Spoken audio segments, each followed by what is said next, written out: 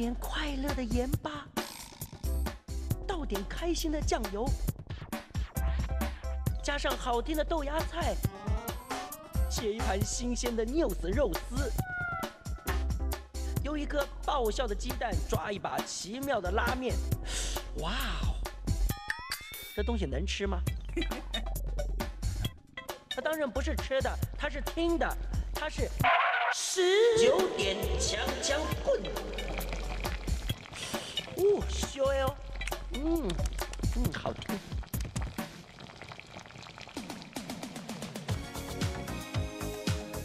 嘿哈，哎呦，呵呵欢迎来到十九点抢钱棍，我是强哥赵子强，今天节目开始了。爸爸妈妈还记得这首歌吗？八零年代很红的一首跳舞的歌，Never Gonna Give You Up。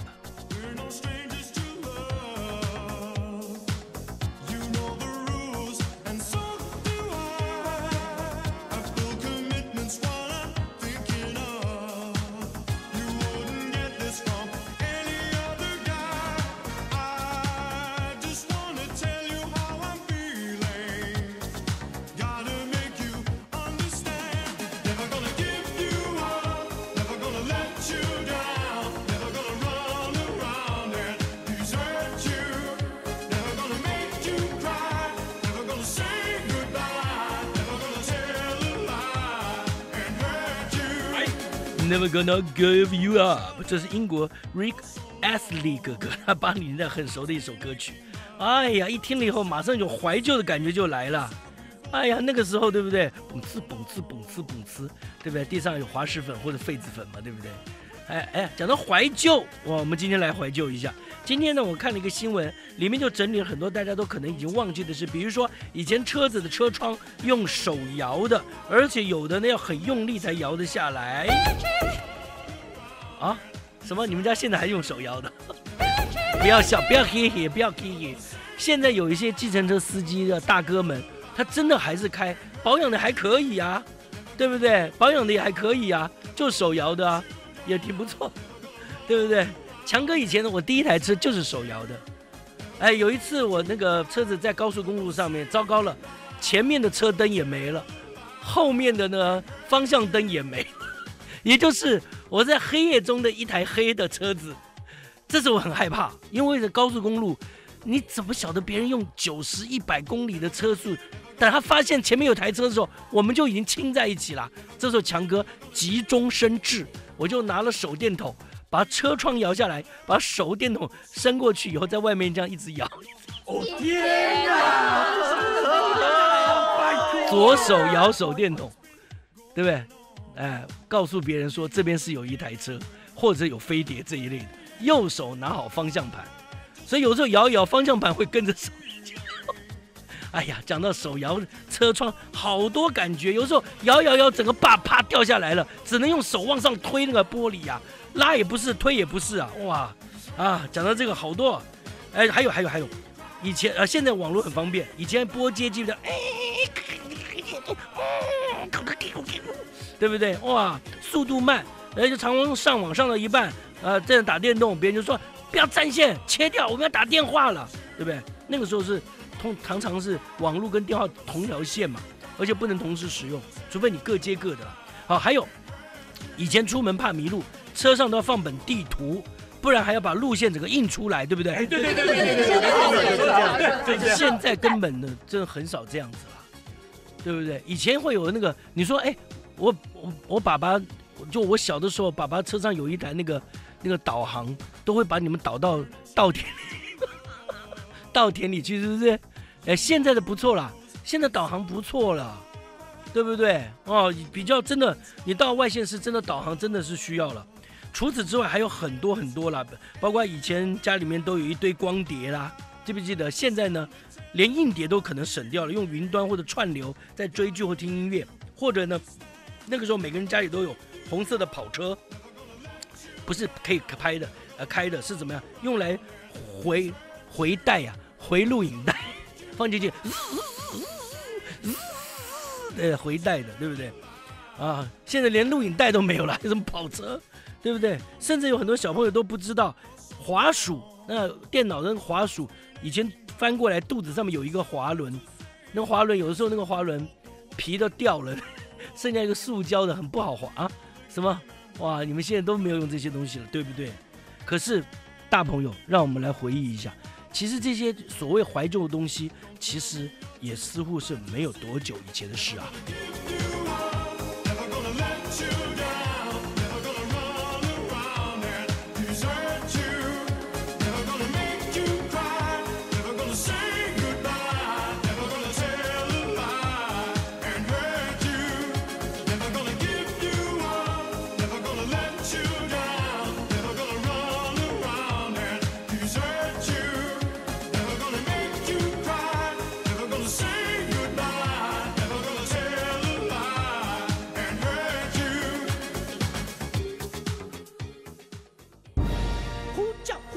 抢劫棍达人联盟从天上、从水里，用跑的、用飞的，立刻集合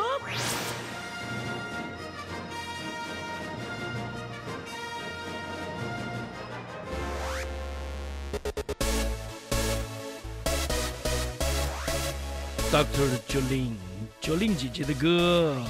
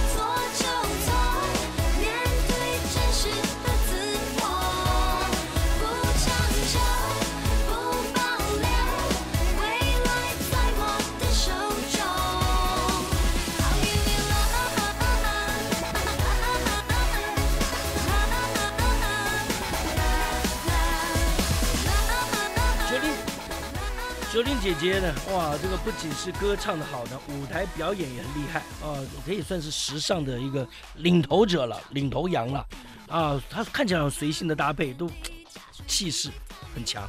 很多人呢，也不但把自己打扮的美美的，哎，他把自己的宠物啊、毛小孩也搞得这个水当当，呃，很突出。一走出来说，这是羊还是狗啊？吓的，对不对？可是我跟你讲，有些主人呢，这个走偏了，其实跟人也一样，有些人为了美都不顾健康了，把自己搞得很美，结果呢，下巴也怕碰到，对，睡午觉也不敢趴着睡，到起来鼻子扁掉，对不对？那现在是不是也有一些主人，对不对？把狗狗弄得这样，然后狗狗生病反而不愿意花钱治病呢？啊，到底会怎么样？我们再次很高兴能够请到宠物达人杨靖宇医师来到节目当中。医师好，Hello，强哥好，各位听众朋友，大家好。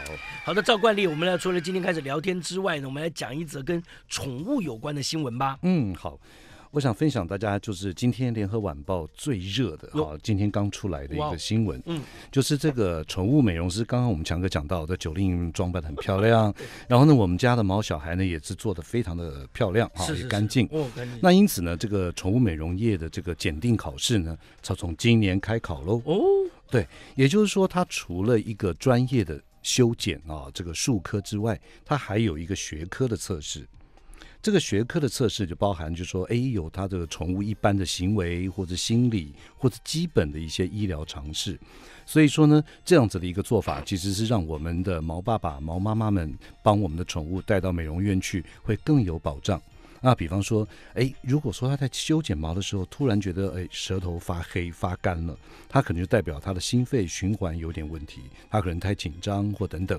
因此呢，有这样子的一个检定，今年开考，我觉得其实是对我们大家的毛爸毛妈们最好的一个保障。哦，这个其实真的是很重要哦，嗯哼，而且对于从业人员也可以分出，对不对？对谁是真正优良的，是，谁可能是鱼目混珠的，就是有照无照的这差别最重要。这会有会有照吗？以后就要给给以后就要，但是这个美容师这个需要证照，那当然这个主管机关农委会他说他会评估，但是依照一般我们大众的需求，尤其是我们现在目前他所公布的资料，台湾养狗的只数到一百七十多万只，养猫也到六十几万只一。百七十几万了，台湾是，所以说，也就是说，这个市场的需求跟这个我们的这个消费的这个保障，现在是我们刻不容缓的一件事情。所以我相信，宠物的美容证照应该农委会会通过的。哇哦，不得了呢！是啊，这个就是，呃，这个以后，哎，像像杨医师你自己本身嗯也一直都有在推动这这方面，你自己觉得呢？是，你觉得像美容师或者是、嗯或者是像像不是帮就是帮狗狗洗澡，这也算是美容师吗？。对对。那像这个，你觉得就整个的未来的这个发展上，是不是就应该有证照考核，或者是像一般的医生也都有嘛？对，的确，这我个人觉得是非常需要的，因为在我们临床工作上面，在我们医院附近有几家宠物美容院，那我们往往都会配合的。当他发现到这个宠物在这个烤箱或者在吹毛的时候，它有一些异常的状况，比方说，哎，开始就是晕倒，或是开始就整个的无力，在气喘，这个时候一定要有警觉性，赶快送到医院来做第一时间的一个救治。哦。对，那此外，难免因为我们晓得，在这个美容室里面，它是在一个桌子上面，嗯，有时候一个没有控制好，跳下来。跳下来，有时候哎摔伤，摔伤，或者甚至于前肢的骨折，哎呦，他的齿桡骨骨折。嗯，所以因此呢，这个有一个基本的一个医疗的常识，还有呢，在修剪的时候，哪些东西不能碰？比方说修眼睛，那不能拿梳子直接对着这眼睛刷，或者是说高温的吹风机对着眼睛吹久了，它角膜都会受损。哎呦，所以说，其实看这么简单的一个宠物，帮狗狗洗澡嘛，对不对？很简单。可是的确，它要注意的事情非常的多。哎，哇，所以这应该是对毛爸毛妈来说，这是一个这个利多，对对不对哈？宠物美容，不过呢，对于业者来说，嗯。可能真的是要整理整理，准备还是要有一个检定的，不能就是说，好像只是说我我我我劳力，我就拿来就狗嗯。就洗就对了。对，哦，这个各方面，这个整个的产业，你刚刚讲哇，一百七十万，嗯，哇，这个狗汁也蛮多的嘞。蛮多的。所以我们整个要进步，整个要往前提升。所以这个证照或是一个基本的一个检测，我觉得这是非常重要的。好的，哇，最新的宠物新闻，熊棍棍的，大家都听到了。我们今天来谈今天有趣的话题，来讲说，呃，这个狗狗爱美、爱爱睡不加老鼻嘴啊，会不会只爱美而不管健康呢？也欢迎各位听众朋友打电话进来，你们家的毛小孩，你有带他去美容吗？啊，不是整形，美容吗？啊，剪毛吗？染毛吗？啊，你有些什么样？你的你怎你是怎么样爱你们家的狗狗啊？你觉得对它的爱或者对它的外在，你有些什么样特别的要求吗？啊，或者是冬天一定要给它穿很可爱的衣服吗？八三六九三三九八八三六九三三九八，我们慢慢来。先讲最近下雨啊，嗯有很多狗狗它们也穿雨衣。对，这个对于一个专业医师来说，嗯。您您觉得呢？呃，这要看我们的犬种。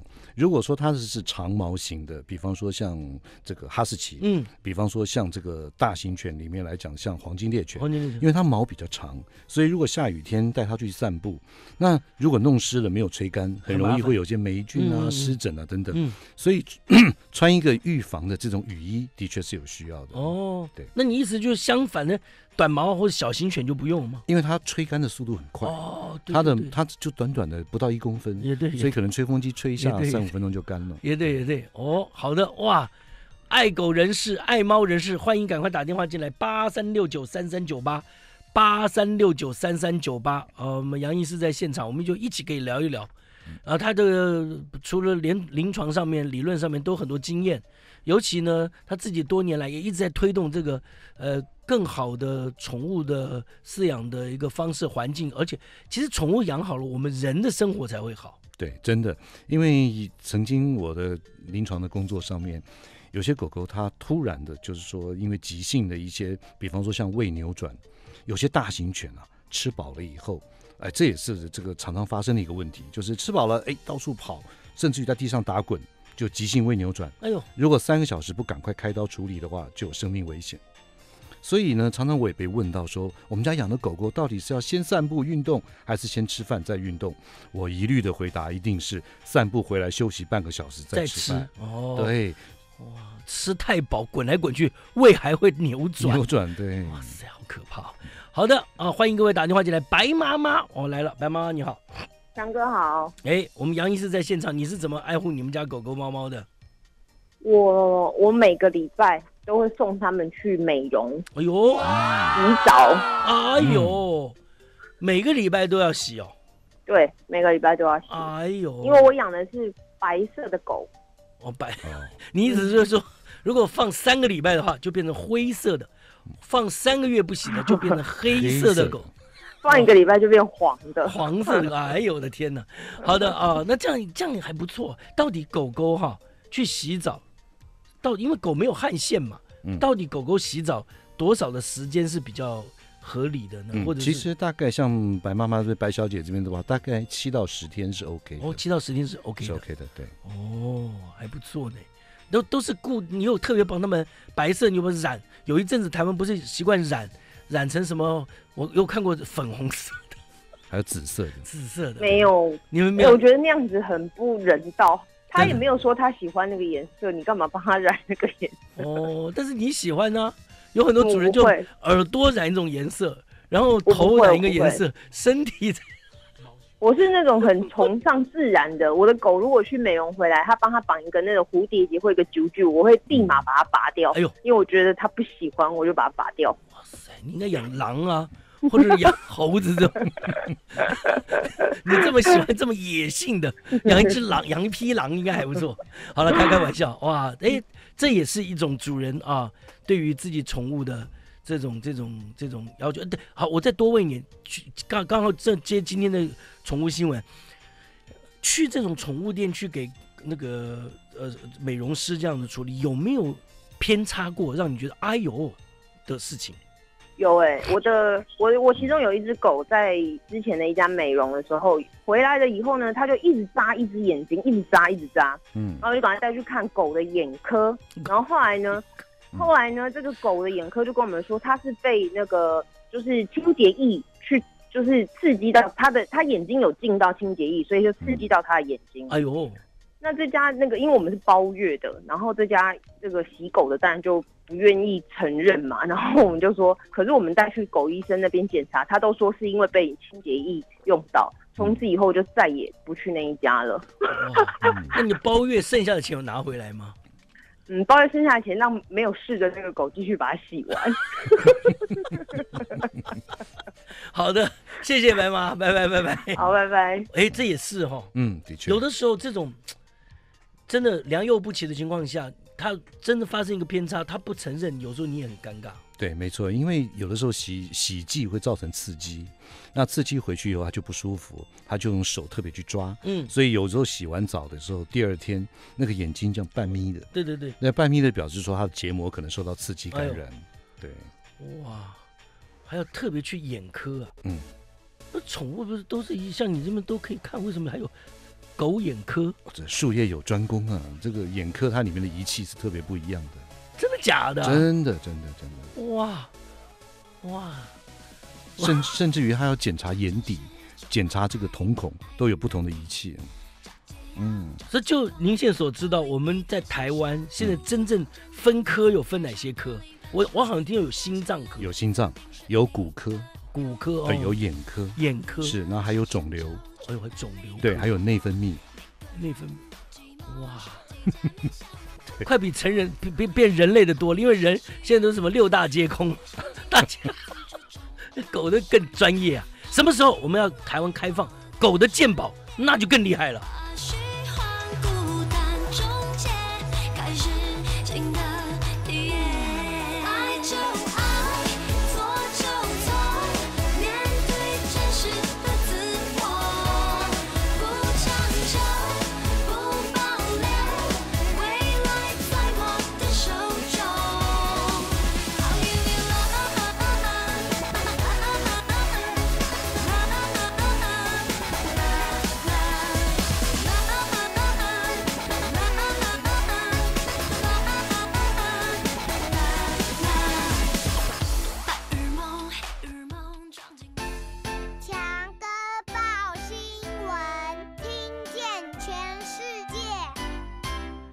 听听听全世界！台北市民政局啊公布了夫妻生养两胎的调查，内容包括呢理想小孩数啦，还有与生养两胎的信心指数啦。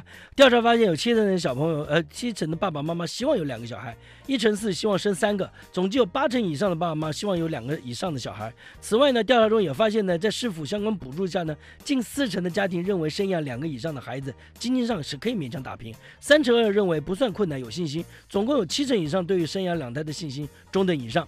而在目前呢，就读台北市公私立幼儿园的两千九百五十五名的幼儿当中，发现近四分之一是家中独生女。儿子女了，这些独生子女呢，七成希望呢，希望有爸呃有兄弟姐妹作伴。对于鼓励生养第二胎的，北市府也表示呢，准备将第二胎的托育补助从三千元翻倍到六千元，预计在下半年实施啊。其实我觉得这个这个新闻一定有鼓励的效果了，但是我觉得鼓励效果，呃，对于很多人来说，这个在很多的国家来说，随着呃这个各方面的独立和进步，这个生养很多小孩的这种。真的是并不是那么容易了，不是说三千变六千就愿意多生三个，那也不是这么容易的事情。而且有的时候不只是经济的考量，而是在很多生活啦，还有工作的考量。像日本他们也是有这种，就是他就是你让那个女性生了小孩，她还能够继续就业，去完成自己的梦想，而不是一生完小孩，因为你没有办法。找到托育的中托育的单位，你多给三千，你也不见得真正找到能够托育的人嘛啊！我想这应该是一个整体的一个状况。好，接下来这个新闻就要告诉你了，不可以小看了小朋友啊！上体育课的时候啊，鞋子破了，成了开口笑。彰化县文开国小的同学得到一个灵感，展开超级粘土的研究，不但成功的研发了自制的超级粘土，上周五呢更获得了第五十七届中小学科学展览会化学科第一名。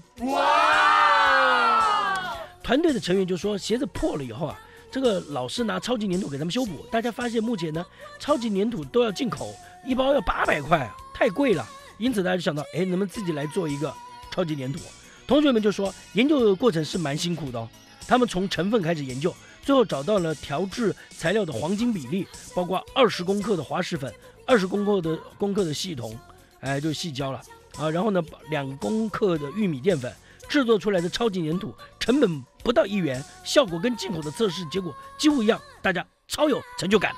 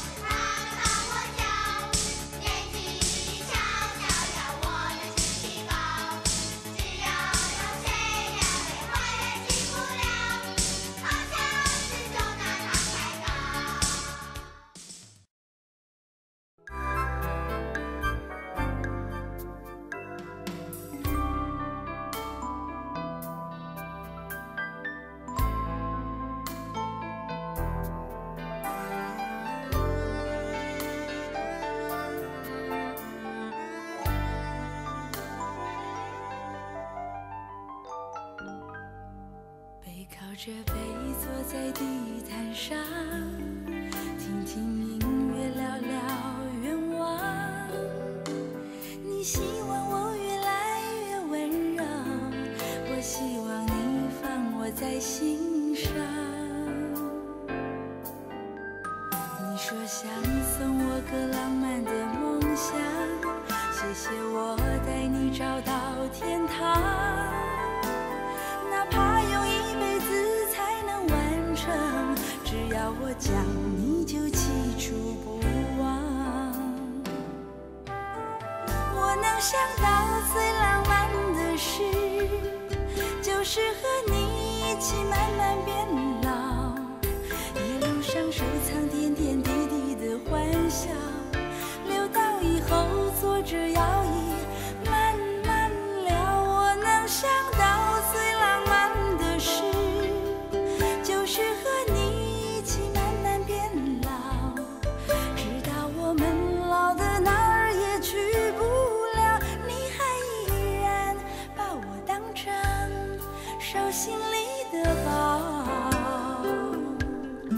赵咏华姐姐最浪漫的事，哎，就在这个歌声中间提醒各位一下。昨天讲了，为了庆祝父亲节，咱们在粉丝团跟大家进行一个小活动。大家现在啊，只要到咱们的 News 酒吧官方粉丝团的活动贴文当中留那么一句给爸爸的话，然后呢，我们就会在八月八号父亲节当天，每个现场的节目当中抽出一位留言的听众，除了将你想要对爸爸说的话呢给你说出来，同时呢，你还可以得到我们帮你准备的超精美随身型蓝牙广播音响。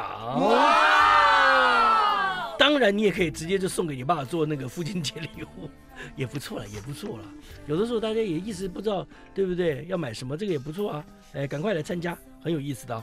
OK，讲到浪漫的，除了对爸爸、对人之外呢，对于毛小孩来说，哇，现在人真的是超浪漫的，哦，对不对？医师，没错，你这边有接触过？我在网络上看到很多很夸张啊，嗯很感人，看都掉眼泪。嗯什么，呃，主人生病。嗯狗狗到最后到他的病床前，跟他这样子两个人这样子对望，嗯，狗狗趴在他的胸口这边，对主人这样子，哎呦我的天哪！现在讲起来都鼻酸。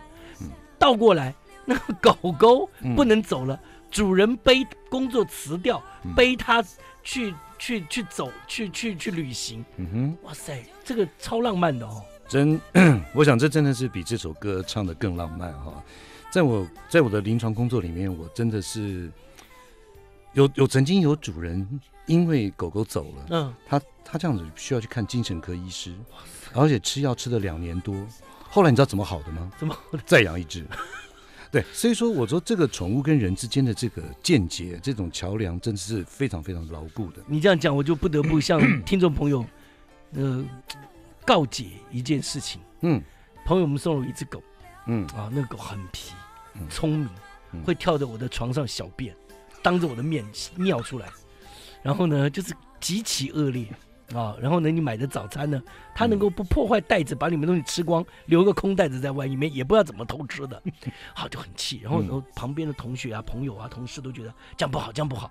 那于是呢，就有好朋友呢就说：“我帮你找一个嗯有大草地的，嗯，在台中有地的啊，一个很爱狗的人士。”嗯那位大哥还特别开车到台北，嗯。我们相约，不叫面交，只是先面面面谈一下而已。嗯。我们就把狗牵过去，嗯。然后呢，那个大哥呢，在中正纪念堂一看，嗯。看了没第一眼看完，他就说这不适合我。嗯。哪有这么快？该生素质太差，差不多这个意思。这个意思。然后呢，我说你怎么这么厉害？一看他就是，他说我跟你讲。然后接下来剩下的半个小时，他都在讲他过去的前一只狗。嗯他其实不是说我们这个狗不好，嗯，而是呢，他无法忘怀他前面那只狗。哎，真的，就像你刚刚讲那个，我觉得嗯当时我听了说，全世界的狗大概都不行，嗯对不对？对，因为，他永远就是他说我那个狗怎么样，我走哪里这样，我叫他坐下就坐下，然后他会跟我我们两个一起坐在那边不用讲话，我 我们两个内心都好像在聊天一样。嗯我说大哥，我现在坐你旁边，我都不知道我们心里在讲什么，嗯所以他其实根本很难。对我觉得其实那个主人爱上那个毛小孩之后，那个那个情感简直是没错。很可很嗯，基本上在这个毛小孩的成长过程里面，大概从出生到一岁，它是一个学习阶段，我们称之为幼犬或幼幼猫期。嗯然后一岁到七岁呢，是人生最光辉灿烂的时候。嗯所以我们往往所有的好的记忆，往往一些好的一些让我们一直回味不已的一个记忆，就这个时段。然后之后到了八岁以后，它逐渐慢慢的也走向了高龄。所以说，在这个在这个动物的毛小孩的三个阶段里面，我们真的好好的掌握它的这个每一个阶段，我们该帮他做的事情，这才是这个最浪漫的事。哇哦，那当然就需要更多的 呃机会，能够像听到像杨医师这么有专业经验、这么多临床经验的朋友，呃，医师来告诉我们做。刚才有一位呃听众朋友啊、一个妈妈打电话来说，哎呀，这个杨医师，我们是是不是什么时候来？我们想常常听到你的节目。是对不起，本本节目的主持人暂时不会换别人。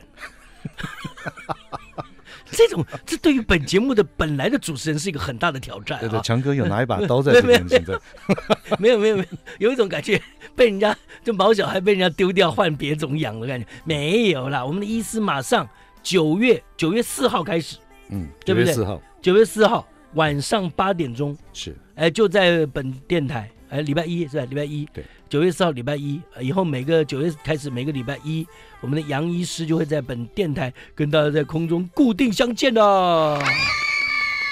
希望大家这个能够持续的收听啊。那我们也是会开放口音，有任何的问题，我们当场给他交换。多好多好，就是真创造更多浪漫的时刻。欢迎各位听众朋友打电话进来，你是怎么样爱你们家的毛小孩的？怎么样创造你们的浪漫时刻？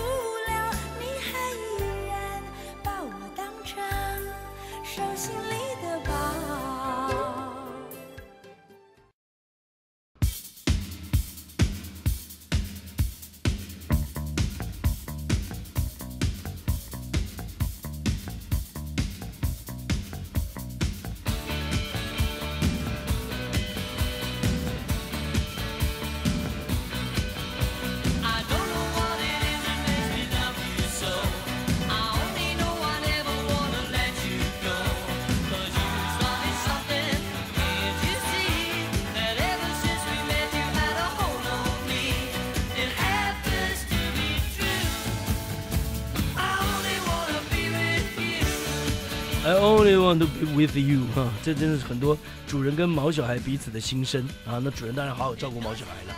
呃，刚才我们看了一下我们的那个呃官方粉丝团，哇，留这个爸爸节的这个爸爸给爸爸的一句话，哇，留的真的，大家去看一看，真的非常动动人哦，很感人哦。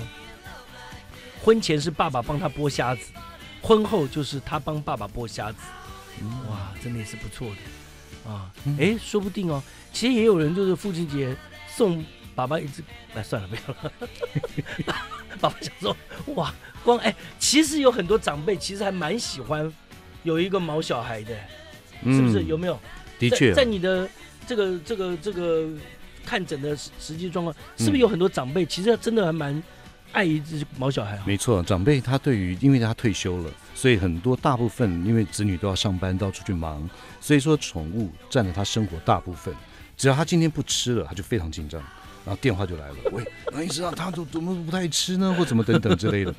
那其实我这边从另外一个角度来分享另外一个我最近听到的啊，嗯就是说蛮那个的，他说有一个有一个我们的老夫老妻们，他现在大概七十一岁，哇，然后呢，他的宝贝十六岁走了。嗯，可是后来我就说，那现在无聊，现在是生活里面，我们再养一只吧。你知道他回答我什么吗？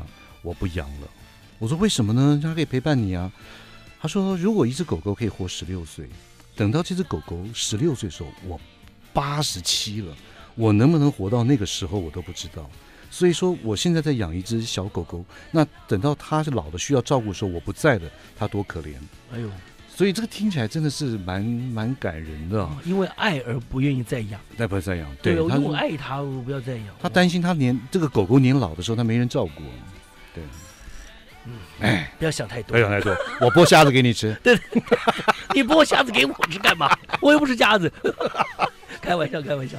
哎，不过这个这个，我觉得您您在你的这个行医的过程中，其实应该有很多很多很感人的故事哦。真的，真的。未来大家想听，就九月四号开始，礼拜一 晚上八点钟就可以听杨医师，然后你们打电话去跟杨医师聊。嗯，对，但你如果要我转告打电话来这边，我也可以转告到杨医师，因为我也常常会跟他联络。因为这个这个这个，只要养狗啊，或者关心狗狗，或者是毛小孩、猫咪啊，嗯其实呢，他服务的范围很大。啊，也希望未来，呃，杨医师能够在更多的层面上面能够帮助我们，哦，一定好不好？对啊，在法令上啊，是在整个呃环境上面啊，真的可以帮助我们。是，好的，那因为兽医师的天职就是这样子。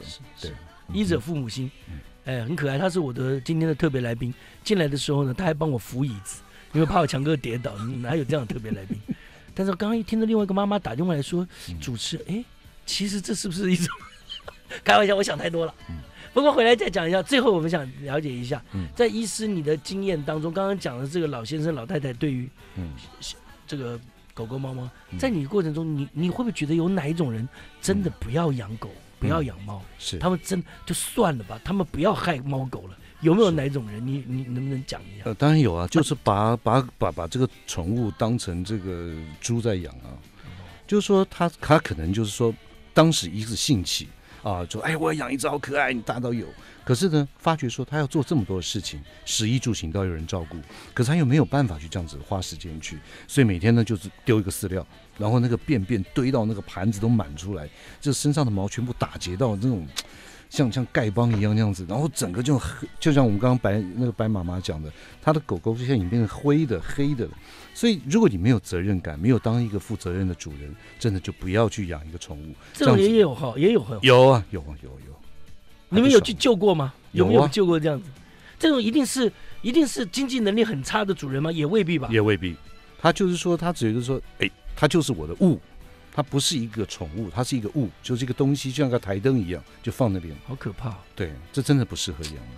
这真的是，我觉得其实有的时候人这个主人有时候很残忍。我因为我我们曾经做过一个戏嘛，做过这个流浪狗的故事，才发觉其实有些好可怕。而且我上次还看了一个事情是不是也在网络上？现在在网络的速度太快，所以就把一个狗狗养在上次我们哎我们上次节目就养在阳台上，大的那种狗，对，养在那种很窄的那边，就像当猪养这样子。是啊，真的真的是不适合。与其这样子的话，赶快开放人家认养吧。倒过来讲，哎，像这样子的主人养出的狗或猫，嗯是不是个性会有开始有一点变态？是啊，因为狗狗当当你没有好好照顾它的时候，它一开始就开始会先闯祸、先搞怪，吸引你的注意力。哦，如果你这次还不理它，就开始沮丧，它开始就是自残，有些甚至于一夜之间把脚上的毛全部咬光。哎呦，猫咪只能整片背上的毛全部咬光。这时候你再不理它，OK，它可能开始有一些报复心出来，攻击性，攻击性，可能一个不小心，它可能就一个一股脑的全部发出来。所以没有一个宠物天生就会咬人、攻击人，或者是说没有一个啊不够聪明的狗狗，其实都是我们主人没有去尽到我们该做的责任。天下没有笨的狗，只有不尽职的主人。哇！听完以后，我很抱歉，惭愧了。原来我们家那只狗在床上尿尿是我害它的，害它头啊！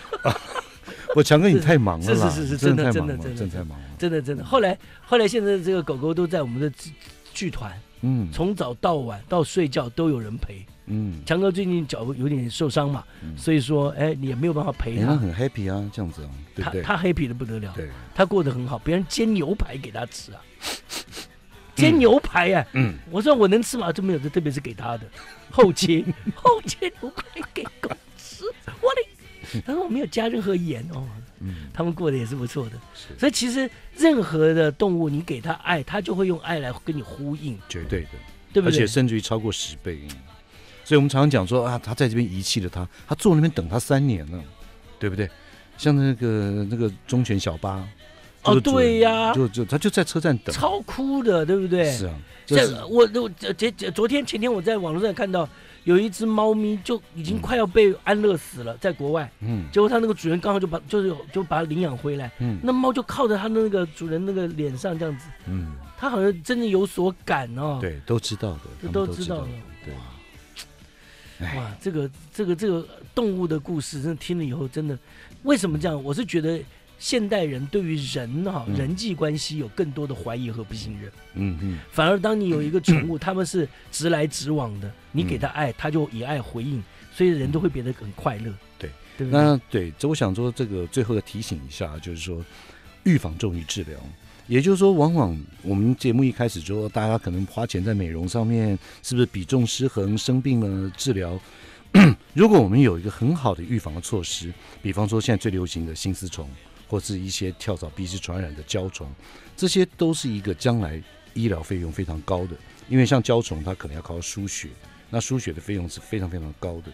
所以说，预防重于治疗。当我们爱一个毛小孩，我们就把它做好最好的生长的过程跟环境，然后它预防它得到很多的疾病啊。固定固定吃，对对不对？固定吃药，新丝虫对是要固定吃药嘛？对，没错。胶虫呢？胶虫的话，就是要点或者吃都有，就是说这个一定要把它这个排除掉，因为等到胶虫的时候，它红血球会急性的贫血，胶虫是多久要要点一之后吃一次？也是一个月一次。一个月一次。对，哦所以预防绝对重于治疗。赶快了解一下哦。